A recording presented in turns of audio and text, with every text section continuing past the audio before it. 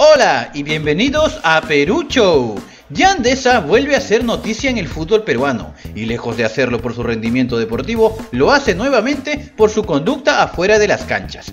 El Club Cultural Santa Rosa de la Segunda División, que había intentado recuperar al ex volante de Alianza Lima, ha tenido que terminar prematuramente su relación con el jugador de cara a la Liga 2, tras conocer su falta de transparencia con la directiva al ocultar un acuerdo con el descendido Carlos Stein.